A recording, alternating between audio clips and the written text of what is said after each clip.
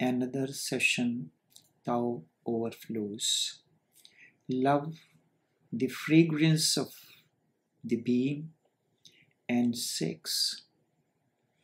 Love the fragrance of the being and sex. There are two things seed and flowering. Flower seed when it is allowed to grow and it is provided the proper nourishment, proper understanding of the gardener, then it blossoms into beautiful flower that spreads its beauty and fragrance. Siddharth is the seed. And when the seed blossomed, to spread its beauty and fragrance, it became Gautam the Buddha. Siddharth is the seed, Gautam the Buddha is the flower. In the same way, sex is the seed. It carries within it is existential bioenergy. It has been given to you for it to evolve and grow into and blossom into a flower. And when it flowers, it blossoms, its beauty and fragrance manifests all around. That is love. Life is not absurd, it is meaningful, but the meaning comes only then when the seed of sex blossoms into love. Life is only an opportunity to grow into love. Each moment, life unfolds many situations for love to grow. And it can grow only when you are alert and awake. Love can grow only when there is awareness. Love is the lamp of your innerness the light within. When love blossoms, you move to a higher plane. The inner one moves and merges into another, into the other, and there is a feeling of oneness. When seed grows, you reach to the higher plane. The inner one moves and merges into the other. There is a feeling of oneness. Duality dissolves. Only in this non dual love you can get the glimpse of what is the state of a Bhairav. We may say the state of Bhairav is absolute love with no return to the seed.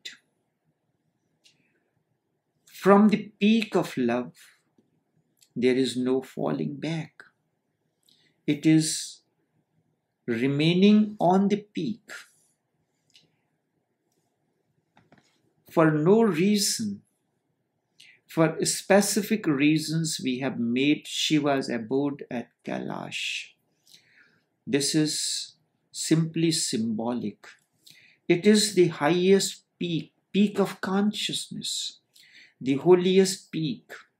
That is Shiva's abode. You can go as a pilgrimage. As a pilgrim, you can stay there for some time, visit, but you cannot stay there. It is a journey. This is what happens in certain moments we are touched sometimes the swift wings of love. Then you return back. In love, this holy pilgrimage happens, but not for all, because almost no one moves beyond six. We remain in the quagmire in the quicksand of sex lifelong. So we go on living in the valley, the dark valley, Sometimes someone moves to the peak of love or we visit that. But then he falls back because it is to be in love constantly is dizzying.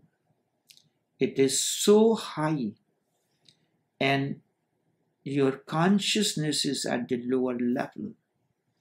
So it is difficult to live permanently in the abode of love. The difference between you and Shiva, Shiva is not dizzy, he is living.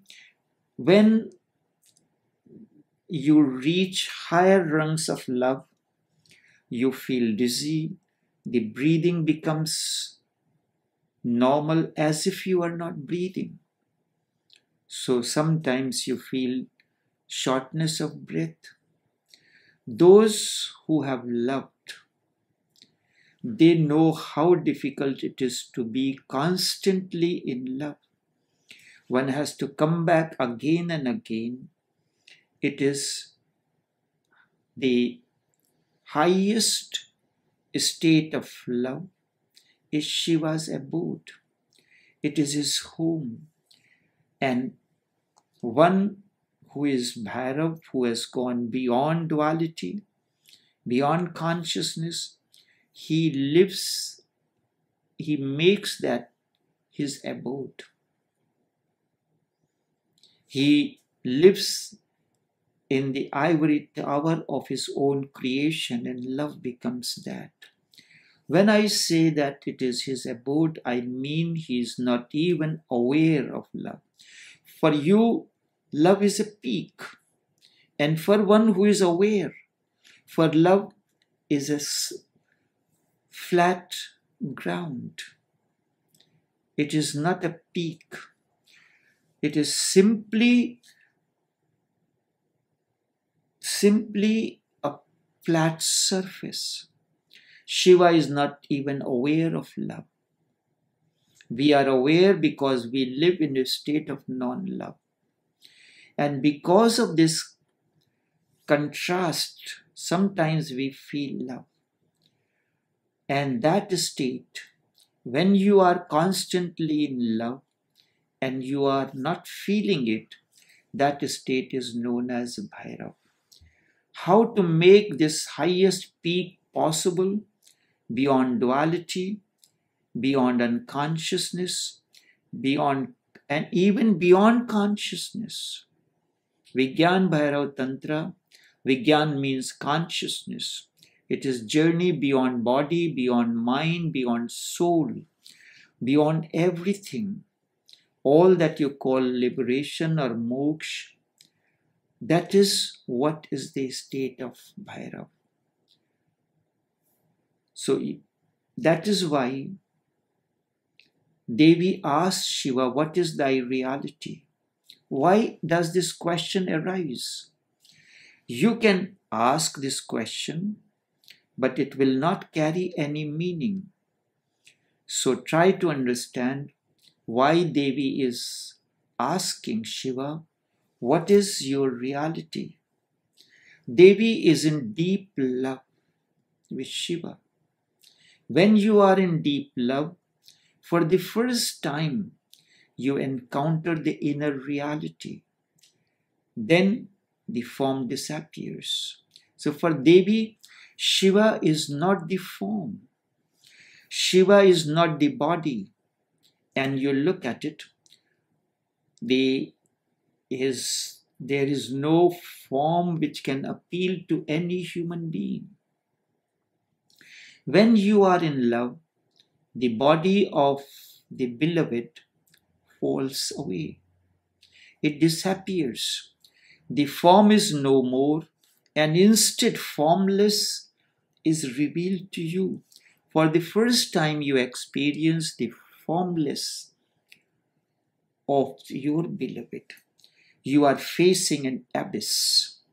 That is why we are afraid of love. We can face a body, we can face a face, we can face a form, but we are afraid of falling in the abyss because there is no face, there is no form. If you love someone and really love, then his body is bound to disappear. And in general, it disappears for a certain moment.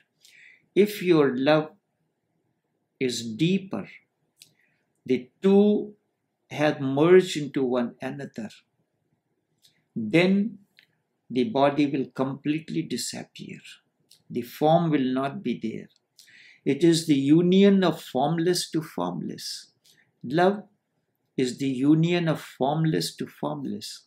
Sex is the union not of, union between two forms. And with form, ego comes into existence.